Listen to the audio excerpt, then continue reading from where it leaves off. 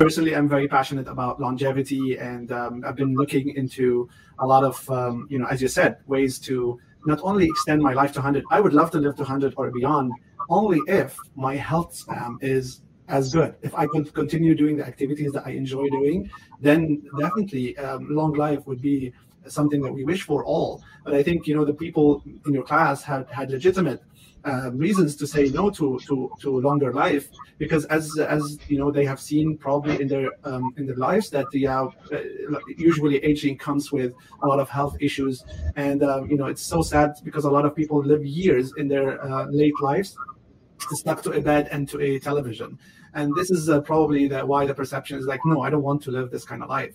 Well, I think that technology is here. That's a Lexus, okay, that many people have and use. Uh, but I think you're right. You do have to educate the elderly on how to use it. So I think AI, when it comes to medicine, I think AI is very helpful. However, I I am concerned that we may be reverting people to a number. You know, um, physicians and providers like to say, well, there's a 99% chance, there's a 70% chance of this and that, and and not, and I don't think, well, I, for myself, I don't want to hear about there's a 77 percent chance. I just want to know what my chances are and not what happened with 77 other people because then I want to know what about the other 23%? What's going on here?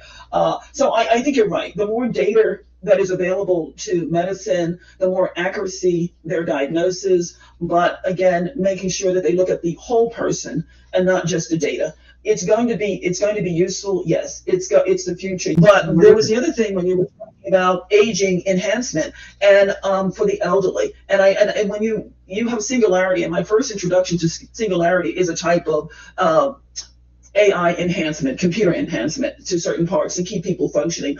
And I think even if we go in that direction, if we come up with some prosthesis, some pill or something that um, in, enhances people's intelligence or helps them to be a little bit more mobile, um, I think again we're looking at those who can afford it and those who cannot. Okay, so even with respect to the elderly, the technology, it's going. It's the, the best example is designer babies. Who can afford designer babies? Uh, the wealthy. The average person is not going to have a surrogate carry her child for her for nine months, but the wealthy will. They will hire someone to carry it. And so we're, we're back to the disparities. But AI is here. It's not going anyplace. Chat. So it's here. It's here to stay and it may depend on how you monitor it, uh, how you regulate it, but but it's here, and it's part, and it is something that the next generation, young people, will utilize. They will utilize it. Okay, like uh, like Google, like when you ask them a question in class, the first thing they do is Google it and give you an answer. Okay, uh, but so it's here, it's here to stay, and I think um, when when that happens, I usually say, well what else is related to you? gave me the answer, but why is that the answer? What's going on? What's the background to it? And and I think that may also be with Chat um, GPT. So basically, what they did is they created a computer program that um, that consumed hundreds of millions and billions of letters and, and text, and it kind of uh, found a pattern in this in this text, uh, and this pattern helps you predict the next word and predicts the next sentence and all of a sudden, we have a computer program that can write based on all the text that ha- it has received on the internet. So it knows about a wide array of topics, but it knows basically on a statistical significance. So, for example, if you know the majority of people, let's say, are pro-abortion, for example, so the, the computer program will rank pro-abortion sentiment high, and, and it will start producing text that is pro-abortion. Um, so that's where also the concerns on is bias. So instead of like reading a lot in the paper and discovering that, oh, this is not relevant to my research, well, you know, you could upload this entire paper, hundreds of pages into ChatGPT. It will give you summaries and it will give you, is it relevant to my research or not? Should I read for, for further or should I stop? So this is uh, just new ways of, of using it as, as a tool for good, in my opinion. But again, just like the you know the, the nuclear energy, right? Like you could use it to power cities with electricity, and you could use it to create an atomic bomb. I think the same applies to to ChatGPT. Okay, and notice I didn't say HIV/AIDS for the high-income countries because we have access to those antiretroviral drugs, but there are still many places in Southern Africa where they don't have access to it. Okay, uh, and so the other problem right. is that once you educate the population, then you can have more healthcare workers, and if you have more healthcare workers, then you have more people to provide healthcare services to the population. But it isn't all about healthcare because that demographic transition that we saw in the high income country, countries that are high income today, uh, that was the result of economic development. That was the result of people eating better and safer working conditions, okay? And better nutrition reduced the maternal mortality rate, it reduced the infant mortality rate, and it caused people to live longer because they were healthier, okay? So it's it's kind of like a combination of things, okay? Your low income countries, uh, the concerns are pneumonia, malaria, yellow fever, um, oh, um, colds, yeah. So they're more malaria, what else is out there? Um, trying to, HIV, AIDS. Okay. And notice I didn't say HIV, AIDS for the high income countries because we have access to those antiretroviral drugs. But there are still many places in Southern Africa where they don't have access to it. Okay. Uh, and so the other problem right. is that once you educate the population, then you can have more healthcare workers. And if you have more healthcare workers, then you have more people to provide healthcare services to the population.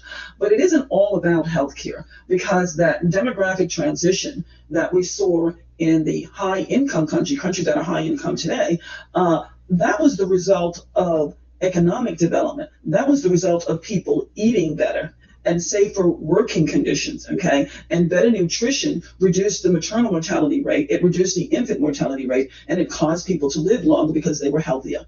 I, I, uh, my hesitation, it's almost like students are not doing well in math because they're too dependent on the calculator. Okay. Growing up, we did not have a calculator. Okay. You had to sit there and do the math yourself. Okay. You go into a supermarket, all the cash registers are programmed. So you give them the money, they put it in the system, the system tells them how much money to give you back. They don't know how to do the arithmetic. Okay. And so I think that will also be a problem with Chat GPT that if you are depending on a program to write something, can you write something when the computer breaks down? Okay, like my, my other PC is not working. I have seen situations where the computer goes down in a supermarket and everybody's just standing around. They can't do anything. Uh, and you say, why don't you just, you know, do it by hand? They don't know how. Okay, everything has been so. Um, that is my concern about uh, G Chat GPT. Chat GPT. That is also my concern about AI. Yeah yeah, that we, we become too dependent on the technology. At the same time, though, uh, although we, we fully understand the limitations, I want to see say, okay, the, the two biggest problems you mentioned related to aging, economy, economics and education. And I could easily see that technologies like ChatGPT and large language models are fundamental to improving opportunities, economical opportunities for uh, people at the bottom of the um, you know of the income level, and I can always see it as an educational helper. The only difference is that instead of giving assignments that ChatGPT can produce, we have to think in a more creative way of how we teach our children and our um, our students. So it definitely have big implications on how uh, we teach. GPT is very much as you described. It's a large data set. The only difference is that this data set is human generated text. So basically what they did is they created a computer program that um, that consumed hundreds of millions and billions of letters and, and text. And it kind of uh, found a pattern in, these, in this text. Uh, and this pattern helps you predict the next word and predicts the next sentence